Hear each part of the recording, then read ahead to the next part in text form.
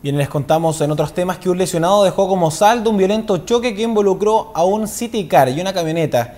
Hecho ocurrido la tarde de este martes en la avenida Barros Luco frente a las dependencias de la Municipalidad de San Antonio.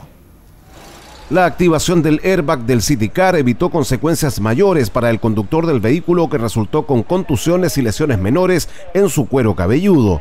El hombre de avanzada edad fue sacado desde el interior del vehículo por voluntarios de la Unidad Rescate de Bomberos de San Antonio y trasladado en la unidad SAMU al Hospital Claudio Vicuña para constatar sus lesiones.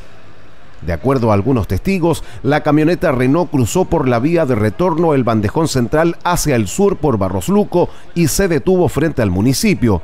En ese mismo momento de norte a sur transitaba el segundo vehículo involucrado, el que finalmente, de acuerdo a un testigo, no alcanzó a frenar, chocando por un costado a la camioneta. Tal fue el impacto que el vehículo menor levantó a la 4x4 y la dejó estacionada al interior del recinto de la municipalidad. A la velocidad que venía, que levantó este auto pesado, lo levantó, si lo levantó así, lo acomodó ahí. ¿Y quién tenía la culpa? No, si este, este gallo cruzó para acá y se, paró, se tiró como a chantarse ahí. Y el oso venía de allá, y de allá venía frenando el plomo. Porque este cruzó ahí para acá y se, se, se paró ahí. Ahí se paró.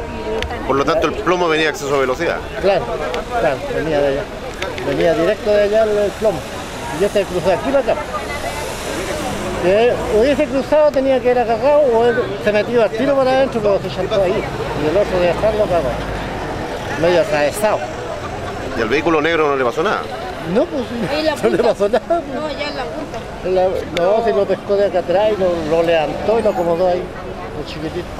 Antes no se metió de abajo. Tras algunos minutos de trabajo, personal de bomberos y del SAMU del Hospital de San Antonio lograron retirar al hombre de unos 60 años, quien se quejaba principalmente de dolores en sus extremidades inferiores y en la cabeza. El procedimiento que estuvo a cargo de carabineros terminó con el retiro de los vehículos de la calzada y la citación de ambos conductores a los tribunales competentes.